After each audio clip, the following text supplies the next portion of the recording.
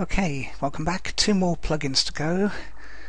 WP Shorties and yet another related posts. I'm actually going to do them in slightly in reverse order because yet another re related post has a settings page, as you can see there, but I never touch it.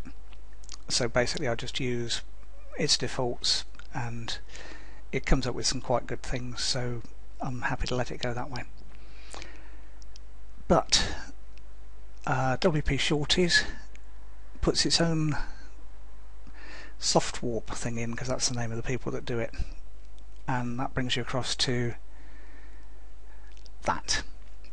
What you can do is paste a URL into there and I'll find one to paste. Okay I've got one copied. And once you click away from that field it'll give you a really ugly short URL so change that to something better and click save I'll move the screen across slightly. Please configure the option it's saying there. Okay, so that means I need to go on to options. I've forgotten about that. And basically, even though it's given you defaults, it doesn't put them in by default. So save the changes. Back to the main page. It's now configured. And if I click on that copy link location. I've just pasted that into um, notepad so you can see what it does. But that will if you want to uh, use it in your post I find the easiest way is to right click and copy link location. I'm in Firefox Internet Explorer has something similar. You can then click it just to check it goes to the right place.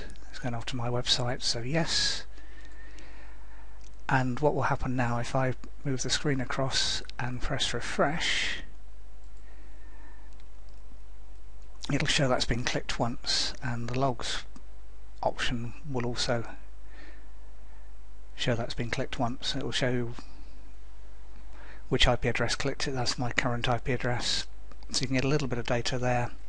It'll show you the date date and time it was clicked. So if you're one of these control freaks that likes going and checking logs all the time, you've got them with this. But the main reason for it is it keeps your links nice, neat and tidy and it means that if someone's clicking on, for instance, a, an affiliate link or something like that that you, you want to disguise or you just want to take them off to an Amazon link which is long and stupidly ugly, then you put the long URL in there and give it something meaningful as a name and then you, you've just got an easy way to show it.